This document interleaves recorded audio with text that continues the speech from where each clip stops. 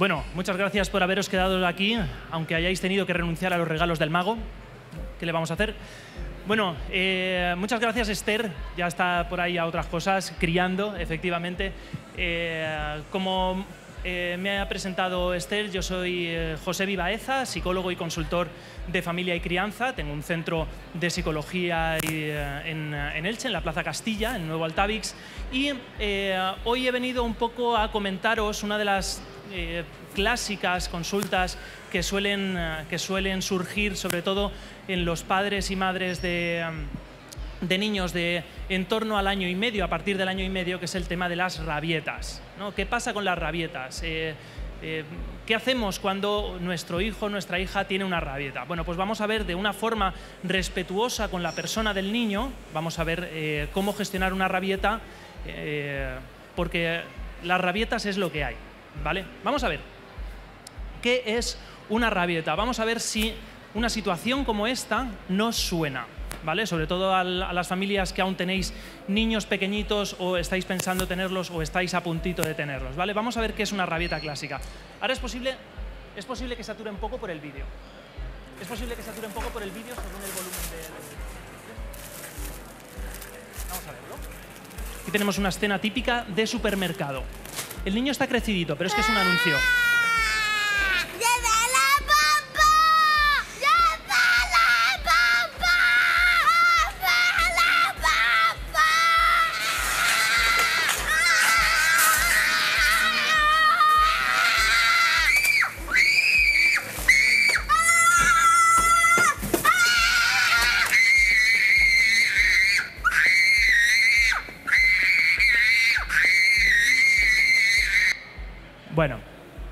Suena de haberlo vivido, de haberlo visto, de, que nos lo hayan contado.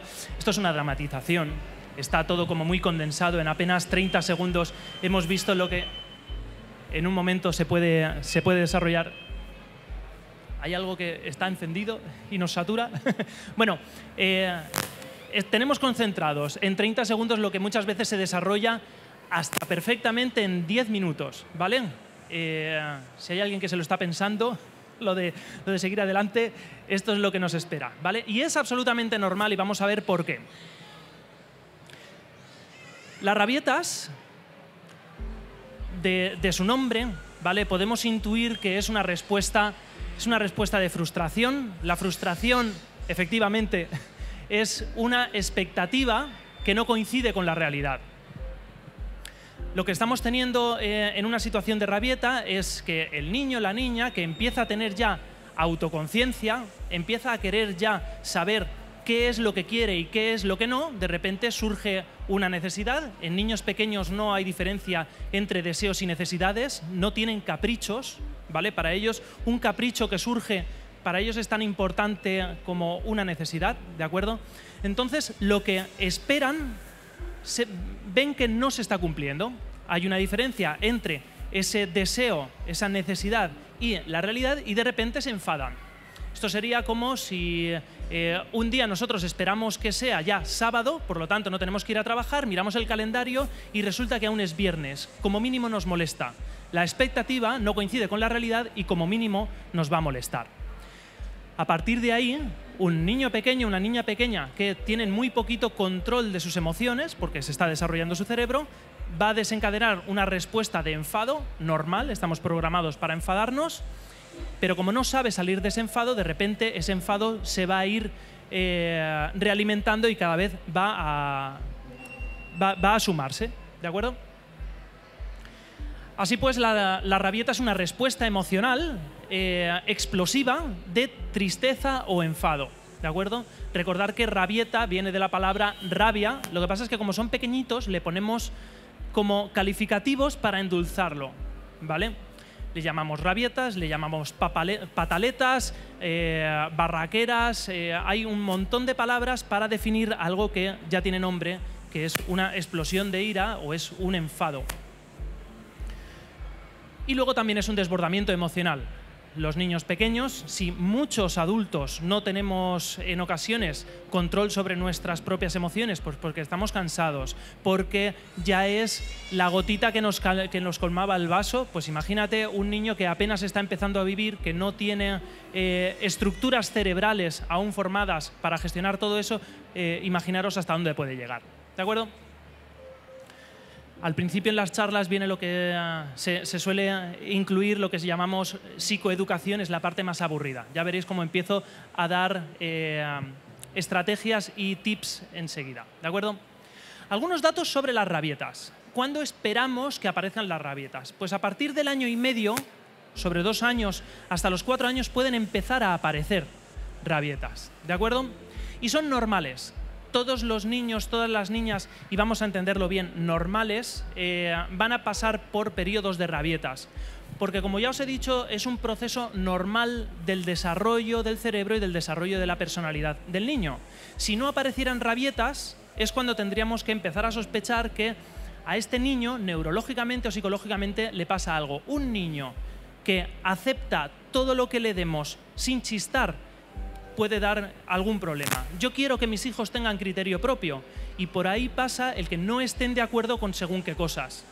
Otra cosa es que sea razonable lo que ellos quieren y para eso estamos los padres, para educar.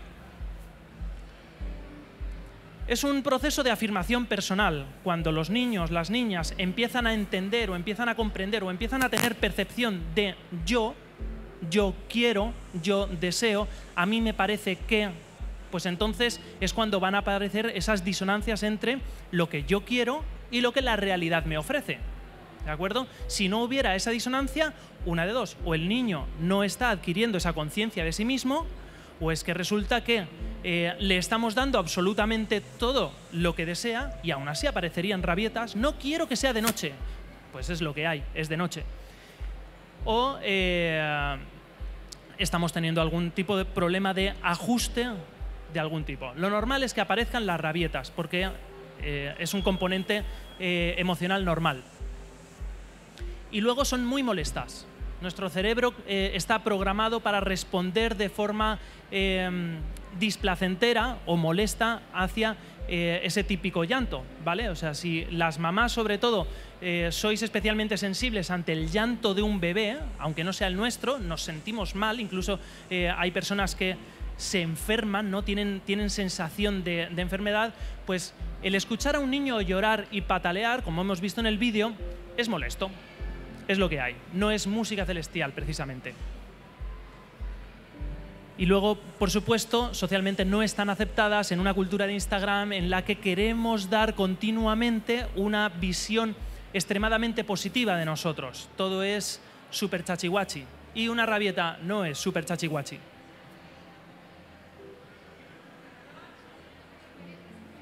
Vamos a distinguir, vamos a distinguir dos, dos procesos diferentes según, muchas veces según la edad de los niños, de las niñas. ¿De acuerdo? La rabieta como respuesta se suele dar sobre todo en niños pequeños. Niños pequeños que muchas veces aún son bastante pasivos, que se dejan llevar, de repente lo que a mí me proponen o lo que la realidad me propone no se ajusta con lo que yo espero y entonces respondo ante esa realidad con, una rabieta. Yo esperaba ir al parque y no vamos al parque y me enfado. Es una respuesta emocional ante una frustración, como ya he comentado. Y otro tipo de rabietas son las que podríamos llamar como eh, respuesta conductual, como conducta, com- como, perdón, como conducta instrumental. Yo le he cogido el punto, ¿vale? A mis padres y sé que si monto el número, entonces consigo lo que, lo que yo quería, que es lo que hemos visto en el, ah, en el vídeo, ¿vale? Estoy en la cola del supermercado, quiero chicles, cojo chicles y si no me dan los chicles, eh, yo he visto que hay veces que si monto el número, pues entonces consigo eh, lo, que, lo que deseo. ¿De acuerdo? Al final es, un, es una conducta que el niño ha aprendido que le surte efecto y de forma sana, lo que surte efecto tiendo a repetirlo. ¿De acuerdo? Otra cosa es que nos moleste, otra cosa es que sea bueno para ellos. Esto se da en niños más mayores, que ya son capaces más de planificar, en torno a los, a lo mejor, 4 o 5 años a partir de ahí. No son, no son edades fijas, pero son edades que se pueden dar. Y son estrategias para obtener lo deseado. ¿Vale? Como ya hemos dicho. ¿Cuándo se acaban las rabietas? La eterna pregunta. ¿Y esto cuándo se va a acabar? Pues cuando crezcan, ya, pero ¿cuándo crecen? Pues las rabietas no se acaban de un día para otro, las rabietas se acaban de forma progresiva. Poco a poco empiezan a dar lugar a estrategias más adaptativas, estrategias que les son más útiles a los niños, estrategias que no nos molestan tanto y por lo tanto ellos obtienen un beneficio por eh, desarrollar esa conducta más positiva cuando entienden las normas, y esto no es pronto, se habla de la transición 5 a 7 de forma transcultural, esto, es esto quiere decir que en casi todas las culturas se ha visto que los niños empiezan a interiorizar las normas sociales hacia los 7 años, empiezan a entenderlas sobre los 5, empiezan a casi todos a tenerlas adquiridas sobre los 7 años, ¿vale? Eso se puede ver, por ejemplo, con los juegos de mesa, los niños de menos de 7 años es complicado que entiendan según qué juegos de mesa, ¿vale? No se, no se adecúan a las normas, a las reglas. ¿Vale? Es normal, por ejemplo, ver a un niño de 4 o 5 años que jugando al fútbol va y coge el balón con las manos. ¿Por qué? Porque no acaba de entender que el fútbol es para jugar con los pies. Hay niños que lo consiguen, hay niños que no. ¿Vale? Cuando empiezan a entender las normas es cuando empiezan a entender eh, que hay una serie de reglas. Aprenden estrategias más adecuadas y empiezan a utilizarlas y les revierten beneficios para ellos porque hay menos enfados, por ejemplo. Lo dicho, sobre los 5 o 6 años es cuando empiezan a entender, empiezan a disminuir las rabietas. Hasta entonces vamos a manejar de forma respetuosa esas rabietas. ¿Cuál es nuestro papel como educadores? ¿Vale? Nuestro papel como educadores es, como su nombre indica, el de educar. Nuestro papel es el de educar y sobre todo acompañar procesos normales que tienden a extinguirse.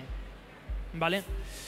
Nosotros tenemos que ser los adultos y nosotros como adultos entramos en rabieta, al final el niño está súper enfadado y fuera de sí, nosotros estamos enfadados y fuera de sí y al final bien, bien no acaba, para unos o para otros. Así que vamos a tener que tirar de autocontrol emocional. ¿Vale? Va a haber que trabajárselo, el autocontrol emocional, el saber poder pararse a respirar para poder seguir esta tarea de gestión o acompañamiento de una rabieta. Y si es necesario, si no estamos en el mejor de nuestros momentos y podemos hacerlo, pedir un quite. ¿Vale? Un quite es como una especie de relevo, en el papel del, en el papel del educador. Si tenemos en nuestro entorno inmediato, durante una rabieta, eh, disponibilidad de tener un familiar, ¿vale? Pues entonces pediremos ayuda a este familiar, a este amigo, a esta amiga, a este primo, tío, lo que sea. Porque no dan medallas por ser el que ha conseguido gestionar la rabieta del niño. No dan medallas, ¿vale? Nuestro papel como educadores es conseguir que eh, el niño o la niña sea capaz de salir de ese estado que es que está cayendo como en un pozo sin fondo. ¿Vale? No sabe salir. Nosotros tenemos que ayudarle a salir. ¿Vale? Entonces, si en un momento dado tenemos que decirle a nuestra pareja, oye, continúa tú, que yo estoy empezando a perder los nervios, lo hacemos porque, como he dicho, no dan medallas por ser el padre o la madre del año en el cual tenemos paciencia infinita. No, no existe. ¿De acuerdo? Y pediremos el quite, el relevo, si es necesario. Y sobre todo firmeza y afecto. ¿Vale? Eh, uno de los principios de la disciplina positiva eh, es este, firmeza y afecto. Yo soy un muro. Si hay algo que si lo estás haciendo es malo para tu salud y no lo puedes hacer, no lo puedes hacer. Y soy un muro. Otra cosa es que me enfade contigo y te castigue. Eso no es afecto, ¿vale? Pero yo soy un muro y con mucho respeto te voy a acompañar en este proceso de que tú entiendas que esto no. Si estamos en un restaurante y de repente, porque te estás aburriendo, y es normal aburrirse en un restaurante para los niños pequeños, entras en rabia, ¿vale? Pues entonces te tengo que acompañar fuera y con eh, firmeza y afecto te acompaño. Porque no puedes estar montándola, no puedes montar un castillo de sillas porque te aburres, ¿vale? No es adecuado en este momento que montes un castillo de sillas. Otra cosa es que yo me enfade. No. Si necesito ayuda, pido el quite. ¿vale? Pero voy a dar tips, voy a dar consejos para eh, maximizar la probabilidad de que esta gestión de rabietas sea efectiva, ¿de acuerdo?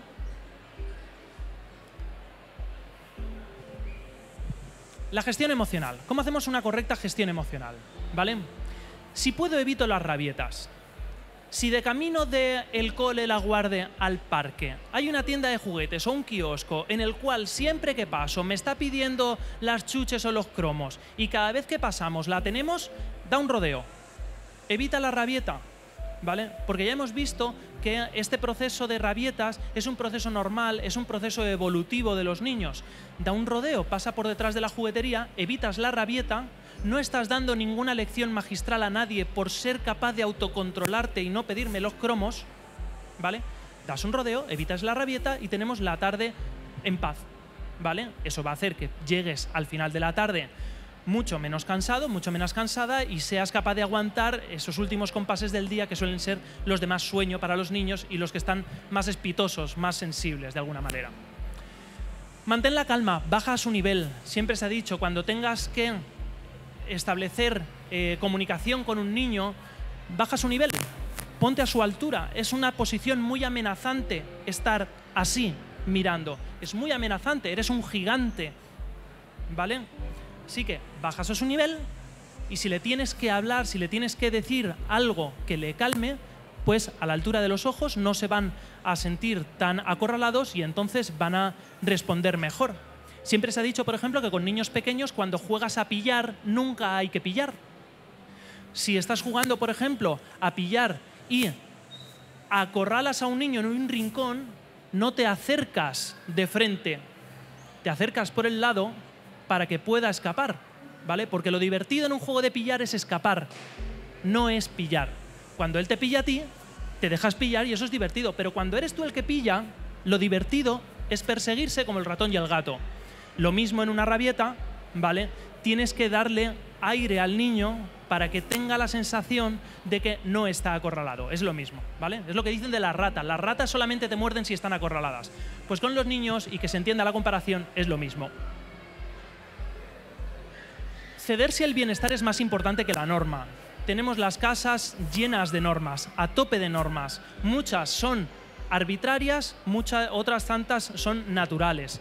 No tocas el horno encendido porque te quemas y por eso no se puede tocar el horno. Eso es una norma eh, natural, ¿vale? De alguna manera estoy evitando un peligro directo, ¿vale?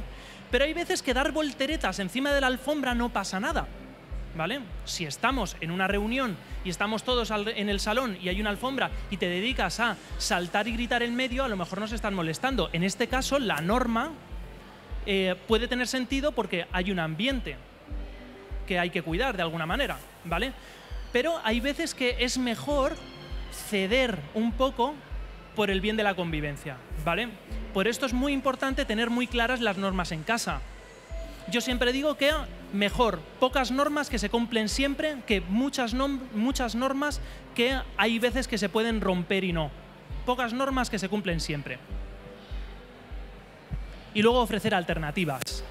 ¿vale? Eh, si estamos en un parque, por ejemplo, y nos tenemos que ir al parque, no es lo mismo decir vámonos y vámonos y vámonos que decir vámonos, ¿quieres que pasemos por no sé dónde y entonces tal? El niño le despertamos una nueva necesidad de alguna manera y podemos llevárnoslo y podemos reconducir la rabieta. ¿De acuerdo? Y luego empatizar, pero empatizar con control, Empatizar es tener contacto emocional con el otro, pero con control. ¿De acuerdo? Somos los educadores. Yo, por ejemplo, soy psicólogo. En consulta yo tengo que empatizar con la persona que me viene a hacer una consulta, pero no me puedo dejar llevar por una historia triste porque al final yo también me pongo a ayudar, me, pongo a llorar y al final no estoy ayudando a nadie. ¿De acuerdo? Yo como educador tengo que entender que tú te lo estabas pasando muy bien en casa de los primos, pero es que son las 10 de la noche y mañana hay cole. Entonces, entiendo que te lo estás pasando súper bien, ¿vale? Pero es que hay que irse, ¿vale? Y entonces te entiendo, hago contacto, pero yo controlo y no pierdo nunca de vista mi papel como educador. ¿De acuerdo? Empatizar está muy bien, pero siempre con control. No nos dejamos llevar por un torrente de emociones, que eso es lo que le está pasando al niño en rabia. ¿Vale? A ver si vamos a pedirle a los niños que tengan mayor autocontrol que nosotros mismos. Decía Piaget, creo que era Piaget, que eh, Piaget es uno de los grandes autores eh, que desarrolla toda la psicología evolutiva, ¿vale? Este se estudia en la carrera como uno de los grandes autores. Decía eh, Piaget, creo que era, que pedimos de los niños que se comporten como el modelo de los adultos. Es decir, no como un adulto más, sino como el mejor de ellos. Entonces eso es el camino perfecto para llegar al enfado y a la frustración. Los niños son adultos en formación, no adultos perfectos. No les pidamos lo que no son capaces de dar. No chantajear, está feo, ¿vale? Porque además no lo entienden. Venga, si te pliegas a mi norma, entonces yo te doy un premio. No, eso es un chantaje, le estás pidiendo que renuncie a una necesidad. ¿Vale? Venga, si haces 20 horas extra más, a pesar de que no te las voy a pagar, quizá te doy un caramelito. No, hombre, no. ¿Vale? Eso como adultos no lo entenderíamos. Pues como niños tampoco lo van a entender. No chantajear, queda feo. No apartar de uno mismo. Quita, quita, quita. Te he dicho que si eh, así llorando no quiero que estés a mi lado. ¿Vale?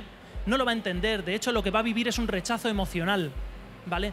Va a sentir inseguridad, pero tú no eras la persona que siempre me da seguridad, ¿por qué ahora que es cuando más lo necesito, de repente no me quieres a tu lado? ¿Vale? Por lo tanto, si no los separamos de nuestro lado, los acompañamos, nada de tiempos fuera. No entienden nada con un tiempo fuera. Como mucho los agotamos emocionalmente hasta que caen absolutamente rendidos. La silla de pensar es un eufemismo que le hemos puesto al tiempo fuera, al como me molestas aquí donde estoy, te vas ahí lejos que no quiero que me molestes. ¿Vale? Eso es la silla de pensar. Rincón de la paz. Es lo mismo con distinto nombre. ¿De acuerdo? Tiempo fuera, meterlo en una habitación hasta que se calme. Si quieres, si está molestando en un ambiente, lo coges de la mano, te lo llevas a la habitación y te quedas con él en la habitación y le haces el, acompañamiento emocional en la habitación. ¿Vale? No castigar, ¿vale? Porque no es control, no tiene control sobre sus actos, por lo tanto no va a entender absolutamente nada. Además, los psicólogos, el tema este de los premios y los castigos, no los manejamos. Si nosotros que somos, en teoría, los especialistas del comportamiento no utilizamos castigos, ¿vale? Me resulta curioso que eh, la gente utilice castigos. Se ha entendido mal el concepto de reforzamiento positivo y negativo. No funciona así. ¿vale? No castigamos porque como no es consciente de su propio comportamiento, pues entonces no va a entender que yo te quite un juguete o te deje dos fines de semana sin ver la tele. Eso no lo va a entender. Y estamos hablando de rabietas. Otra cosa es reeducación de un mal comportamiento. Eso es otro tema. ¿De acuerdo? Por supuesto, no pegar. ¿Vale? Pegamos sobre todo para liberar una tensión interior. ¿Vale? Solamente eh, cuando, cuando se da una nalgada, un cachete o un tortazo, sobre todo lo que estamos haciendo es liberar una rabia interior. No ofrece ningún componente educativo y es delito. ¿Vale? O sea, entre otras cosas, no puedes pegar a otro adulto, por lo tanto no puedes pegar, si no puedes pegar a una persona, no puedes ir por la calle y pegar a otra persona, en tu casa tampoco, porque recordar que los niños, según la Constitución, también son personas y tienen los mismos derechos que nosotros. No los mismos deberes, pero sí los mismos derechos. No, somos nosotros los del acople. Vale, no pasa nada. Eh, y además lo, único que vamos a generar es desconfianza por parte del niño sobre qué figura ocupamos nosotros. ¿Vale?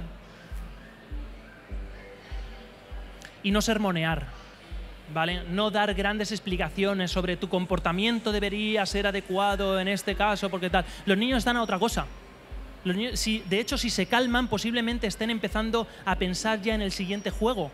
¿Vale? No están atentos, tienen una capacidad de atención muy bajita, muy bajita. Por lo tanto, sermones de más de 10 palabras no van a llegar a ningún sitio. ¿Vale? Acompañamos emocionalmente, los volvemos tranquilos, que es lo que queríamos, y poco más. Estrategias de intervención. Vale, todo eso está muy bien. ¿Cómo lo hago? ¿Vale? Yo os quiero decir que es una estrategia que funciona siempre. a no ser que estemos en, un caso como muy especial que lo que haya sea que reeducar. Pero la inmensa mayoría de los niños con estos cuatro tips, cuatro tips, ¿vale? Van al sitio, incluso los niños más guerreros, es que tienen mucha personalidad, ¿vale? Van al sitio, ¿vale? Primero de todo, cuando tenemos al niño en rabia, no corramos, no hay prisa, va a estar ahí eh, posiblemente entre 5 y 10 minutos más. O sea, llegar 20 segundos antes no va a resolver nada. Autocontrol, ¿vale? Y si hay que avisar a alguien, lo avisamos. Yo me encargo, quédate cerca. ¿Vale? Autocontrol emocional, respiramos, ¿vale? Esto va a ser complicado, vamos a ello.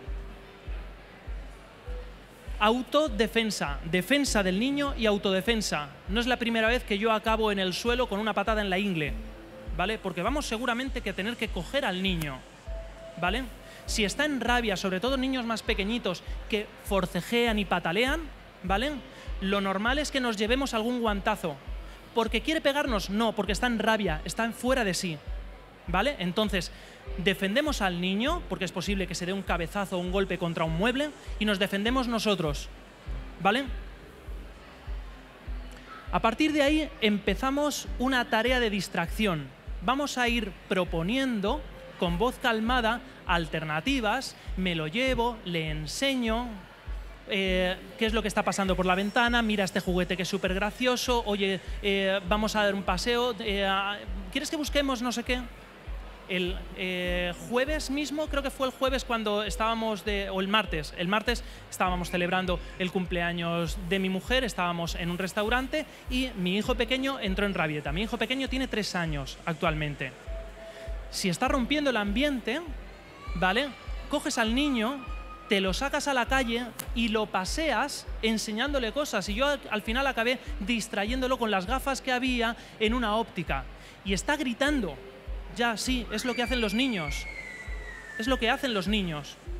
¿Vale? Los niños se enfrentan a una realidad muy complicada y responden normalmente mal. ¿Vale? Ya crecerán. Mientras tanto, no les hagamos este tránsito, por decirlo de alguna forma, más difícil les vamos a ir proponiendo y proponiendo y proponiendo. Y si nos agotamos, pedimos el quite. ¿Vale? Viene alguien, lo coge, lo distrae, le propone, ¿vale? Y llegará un momento en el que algo nos lo va a comprar. Y cuando nosotros detectamos que nos ha comprado algo, nos ha comprado la idea de que hay unas gafas bonitas, que mira el perrito que está haciendo, y ¿has visto que hay muchas estrellas? Cuando de repente te compran algo, sigue esa conversación. Mientras tanto, propon, propon, propon, propon. ¿Vale? Algo te va a comprar. Más tarde o más temprano, algo te va a comprar. ¿Vale? Eh, creo que era eh, Alberto Soler, por ejemplo, en unos talleres de lactancia, eh, le preguntaban, ¿es lícito, es bueno, está bien calmar una rabieta con la teta? Sí, está bien, no pasa nada. ¿vale? Da mucha seguridad. Nuestra labor como educadores es sacarlo de ese estado. Y si nosotros sabemos que con la teta se calma, pues posiblemente es que tenía sueño o tenía hambre o no sabe lo que le pasa, pero si, se calma con la teta, pues teta, no pasa nada. ¿Vale? No hay problemas neurológicos, ni le vamos a crear un trauma, ni le vamos a fastidiar la vida porque aprenda o se acostumbre a estar con la teta. ¿Vale? No hay ningún problema, ¿vale? Y esto no es una opinión, esto lo dicen muchos estudios, ¿vale? No es una opinión. Y luego el acompañamiento emocional. Una vez se ha calmado, entonces es el momento, cuando ya está calmado, cuando ya está distraído, entonces es el momento de averiguar qué es lo que ha pasado. ¿Que estabas muy enfadado? Sí. ¿Y qué era lo que quería? Es que no podía decir que quería no sé qué. Ahí haces el acompañamiento emocional. Y haces una cosa muy importante, que es la validación emocional. Permitirle al niño que se enfade. Claro, entiendo que estuvieras enfadado. El restaurante es un poco aburrido, están tardando en traer la comida, estábamos hablando de una cosa y tú querías, eh, y tú querías contribuir. Entiendo que estés enfadado, entiendo que estés triste, entiendo que estés asustado. Y hacemos una valoración, una valoración emocional, validación, perdón. ¿De acuerdo? Ahí qué es lo que estamos haciendo? Ahí estamos ganando puntos para que el día que tengan un problema nos lo cuenten, porque saben nosotros somos su seguro, un sitio seguro donde volver, donde ir a contar. Si cada vez que nos vienen con un problema en el cual se han equivocado, les echamos una chapa o incluso los culpamos, ¿vale? El día que se vayan por ahí de fiesta y se equivoquen, ¿vale? ¿Se ¿Nos lo van a contar? No, porque hay chapa, porque hay castigo, porque hay enfado. El día que mis hijos se vayan de fiesta y se equivoquen, os beban un par de copas o, o la líen, yo quiero que me lo cuenten. No me va a gustar. No me va a gustar. Pero es que esa es nuestra labor de padres. Con todo lo que sabemos, vamos a ver un fragmento de un capítulo de Super Nanny, creo que Super Nanny USA, ¿vale? Super Nanny Estados Unidos. Tener en cuenta de que el programa Super Nanny es un programa, es un show. No es un programa ni educativo ni divulgativo, es un programa de entretenimiento. Es como First Dates, ¿vale? First Dates es un programa de entretenimiento donde se busca gente, si no es bajo guion, que eso habría que verlo, eh, es un programa donde lo que se busca es tener a la gente enganchada durante todo el capítulo para que luego yo te ponga un bloque de anuncios y tú te los tragues, ¿vale? Que es de lo que viven las teles. Pues esto pasa lo mismo, ¿vale? Teniendo en cuenta siempre que es un show. Está en inglés, ¿vale? Es el problema. Pero bueno, se va a entender muchas cosas y yo voy a ir diciendo lo que, lo que ocurre. Barbara, you're off to the supermarket now. Yes, we're gonna go to the supermarket. Van It's ir hard to take them to the store by myself because I can't control them. Where's Jesse? She's right here. Come on, let's get in the car. Come on, Leah, let's get in. Sit right here. Sit right here. She's sitting right there. Get in your seat. No, Huh. don't, not right there, Apple. And that's how Vale, primer problema. Han sentado, primero, las niñas estaban súper felices jugando y han dicho, vamos al supermercado. ¿Por qué? Porque yo que soy un agente externo me apetece ver qué es lo que hacéis en un supermercado. Chico, deja a las niñas jugando, que además está el padre por ahí, deja a las niñas jugando, ¿vale? Pero no, vamos a meterlas para ver qué es lo que ocurre cada vez que nos subamos en, el, coche, ¿vale? Coche de estos familiares, las niñas van los tres atadas, ¿vale? Están en su dispositivo de retención infantil, absolutamente necesario. ¿Vale? No, no te preocupes, no te preocupes. Es que como hay que darle a la pausa. Vale, ok. Y eh, en un momento dado, creo que la niña mayor, que creo que es por la cual hacen toda esta intervención, eh, está buscando un libro que hace meses que dice que perdió en el, ah, en el coche. Andrew replies back to you. Right, okay. I'm getting the gist of this now. Yeah. What book? El libro de los osos amorosos estaba por aquí. You hadn't seen for a month. Do you want to carry? Here's, Dice que ahora quieres el, dice el padre, que ahora quieres el libro, pero si hace meses que no lo ves y la niña dice, ya, pero ahora lo quiero. Ahora lo quiero, se me ha despertado esa necesidad, quiero mi libro de los osos amorosos y lo quiero y lo quiero ya. Y el padre le confronta y dice, ¿ahora me voy a poner a buscarlo? Chicos, si está ahí, cógelo y se lo das. O le explica, no, mira, no está, o lo que sea, pero bueno, la cuestión es que la niña ha pedido algo que tampoco. Es que quiero un elefante. No, un elefante no ha pedido, ha pedido el libro de los osos amorosos. you want to carry your care book? Le ha dado una patada. La niña, enfadada, le ha dado una patada como nos dan los, nuestros hijos todos los días cuando estamos viendo la tele o lo que sea. Hacen así, estoy enfadado, pum, patada. ¿Vale? Y entonces el padre va a entrar en rabia y lo vais a ver. Just kicked him. I think it's absolutely crazy. I don't get it. I want it. Well, Vale, you kicked páralo, por me. favor.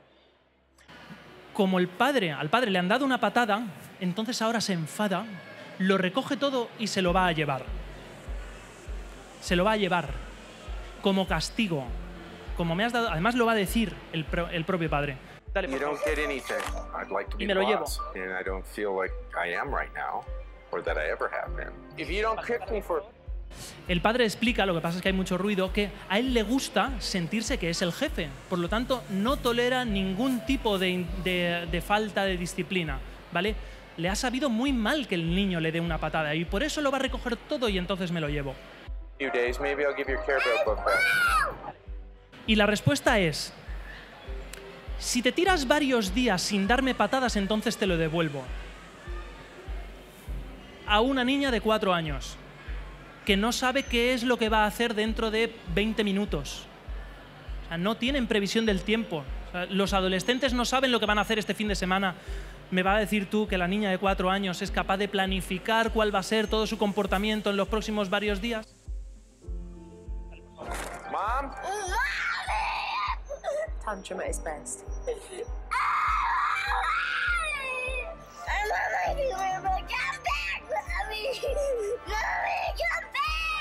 Andra, stop. Just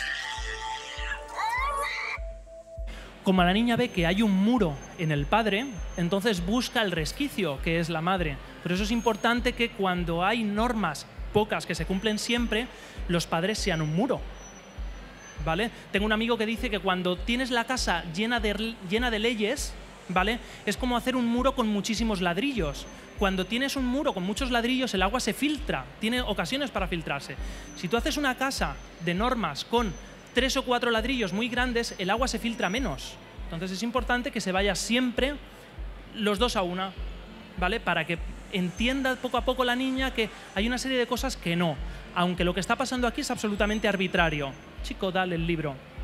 Can't wait to hear what you have to say.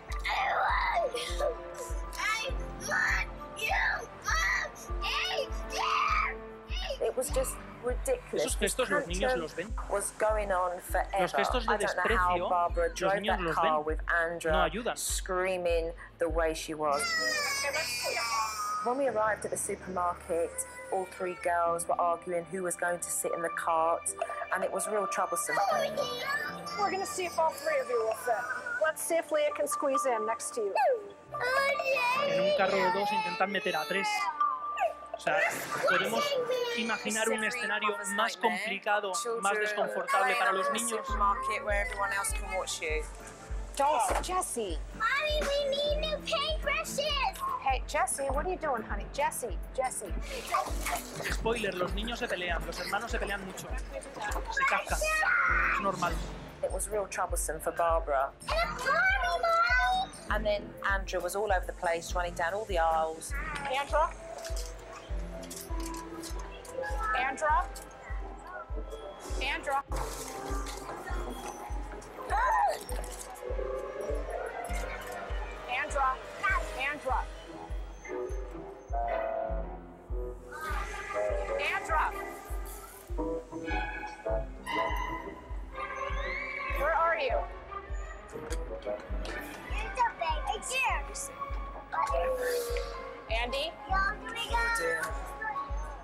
Barbara doesn't exercise her full control as a parent when Andrew is being very demanding.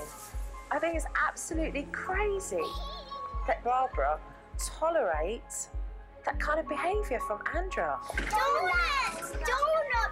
Donut! Please, Mommy. Please, Mommy. You need to come I'll with be me. extra cool if you No. give me a donut. Yeah, right. Vale, lo que hemos visto hasta ahora es un comportamiento normal de una niña que hace lo que los diseñadores de supermercados diseñan en sus supermercados, o sea, lo que quieren que hagamos, ¿vale? Eh, los estantes, la distribución de productos en el supermercado, la música, las luces, está toda diseñada por un equipo de gente que lo único que busca es que pasees mucho y cojas cosas. ¿vale? Hay equipos de psicólogos que hacen pruebas para ver cómo maximizar las ventas dependiendo de cómo se ponen los artículos, la música que se pone, la luz que se pone, está todo diseñado, ¿vale? Como mucho, vuestra tienda de barrio, los productos están puestos al azar, pero ni Carrefour, ni Mercadona, ni Más y Más, ni nadie deja eso al azar. Si puede maximizar las ventas, lo va a hacer. Por lo tanto, lo que quieren es que tú vayas perdido por entre los pasillos, sin referencias espaciales ni temporales, y que vayas cogiendo lo que está a la altura de los ojos. Eso es lo que maximiza el beneficio de los, de- del supermercado. La niña está en un parque de atracciones. Está cogiendo, está respondiendo como los diseñadores de supermercados quieren que actúes. ¿Vale? No se le puede culpar a la niña por hacer eso. En algún caso, lo que podríamos decirle, chica, eh, no te lleves a los niños al súper. Si hay un ordenador ahí a la altura de los ojos de un niño y el niño lo está tocando, lo que está mal es el ordenador. O sea, no lo, no lo pongas ahí. ¿Vale? porque alguien puede tocarlo, como por ejemplo un niño. No lo pongas ahí, ¿de acuerdo? Y si lo pones y el niño lo toca, no seas demasiado duro con el niño, ¿vale? Ese es el tema. Otra cosa es que dejemos que abran las bolsas de patatas fritas. Yo suelo decir que hasta que no lo pagas no es tuyo, por lo tanto no te lo puedes comer, ¿vale? Y, eh, al final ha hecho una cosa que seguramente le han programado en casa. Dice, si te prometo que si soy súper buena, te, prometo que, que si me compras un donuts, seré súper buena. Esa estrategia estoy convencido de que alguna vez la han utilizado. Si te portas bien, te compro un donut. Por lo tanto, esa secuencia de acontecimientos la quiero repetir, dice la niña. Eso es un reforzador positivo de libro. ¿Vale? Entonces la niña dice, vale, si en otras ocasiones me han dicho que me van a comprar un donut si soy súper buena, pues ahora también. ¿Vale? Te prometo que si me compras un donut seré súper buena. ¿Vale? Y a todo el mundo nos escandaliza. Pero si es lo que está acostumbrada, no está haciendo nada malo, son las normas de la casa. I'll be extra good if you give me a donut. Manipulation at its best. The supermarket run was just ridiculous. Oh. I feel that Barbara definitely needs to take control of that situation when she is shopping with all three girls. She has tantrums that the parents tolerate. Todo este comportamiento normal de la niña no implica que la madre no tenga derecho a estar absolutamente agotada. Es agotador. Yo lo digo un montón de veces. Ser padre o madre no es difícil, es cansado. Es muy cansado, ¿de acuerdo? Pero no es difícil, ¿de acuerdo? Eh, si esta madre hubiera, eh, hubiera tenido disponible eh, en su entorno alguien con quien dejar a los niños, todos los problemas de esta mañana en el supermercado se habrían resuelto. El problema es que vivimos en colmenas. No tenemos a nuestra disposición esto que, este que ahora se llama de la tribu, en el cual te dejo con la tía y con los primos mientras yo me voy al mercado. Se resuelven todos los problemas que tenemos aquí. El problema es que es difícil tener a los niños en un parque si a la mínima van a ac- acceder a una calle donde hay coches, cuando dispones de parque, ¿vale? O cuando no dispones de gente a tu lado, pues no puedes dejar a los niños. Se hace todo muy complicado, ¿de acuerdo?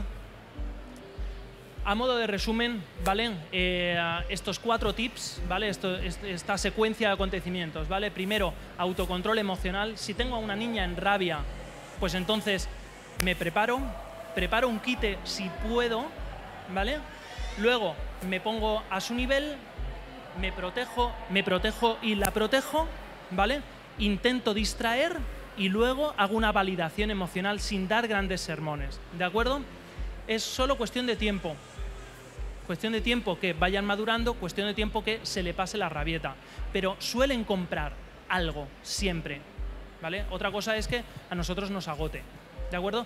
Y luego, esto que os decía, si podéis evitar una rabieta, evitarla, que no dan medallas por llevar al sitio a un niño eh, en, en una situación de esa, ¿de acuerdo?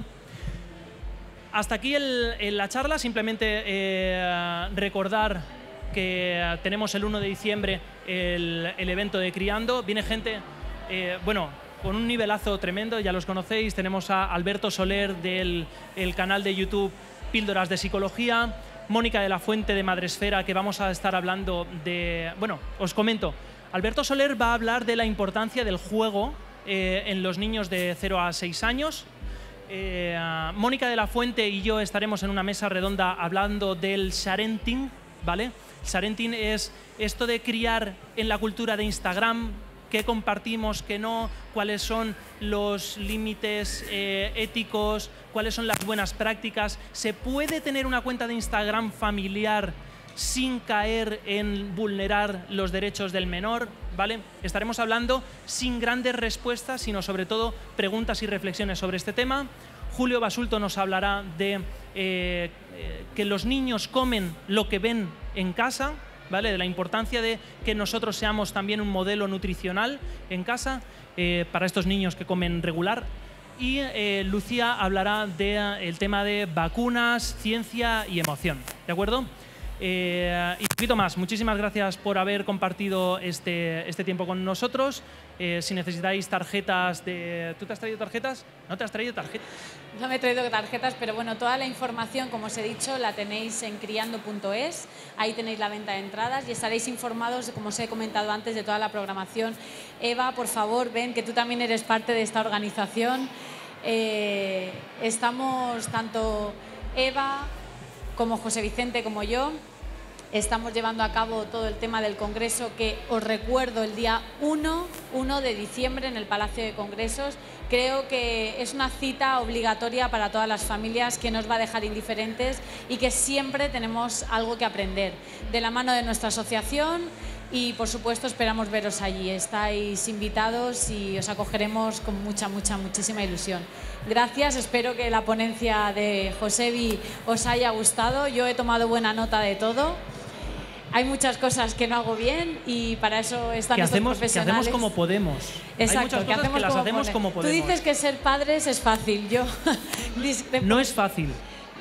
No es fácil. Cansado en no eso, es por difícil, que es diferente. Hay un término medio. Lo que es es muy cansado. Bueno, sí. Yo, vamos, apoyo lo que dices. Es muy cansado y siempre pues tenemos las dudas de lo estaré haciendo bien. Creo que esa es la, la eterna pregunta de los padres. Cada decisión que tomamos es lo más valioso en nuestras vidas y siempre tenemos esa pregunta que siempre está ahí acechándonos. ¿Lo estoy haciendo bien? Pues creo que hoy en día tenemos la suerte de contar con profesionales que nos dan todo su conocimiento, su apoyo y las herramientas a través de diversos canales, tanto físicos, al acudir a congresos como ahora como está tan de moda las redes sociales. Tenemos acceso a toda la información y creo que debemos aprovecharla. No sé si queréis decir algo más. Eva, ¿tú quieres decir algo? Gracias. Bueno, eh, gracias a los asistentes a, a esta presentación y que esperamos veros el, el día 1 en el Palacio de Congresos de Elche, como bien ha comentado ya Esther. Y bueno, nada, daros las gracias. Gracias por venir. Muchas gracias.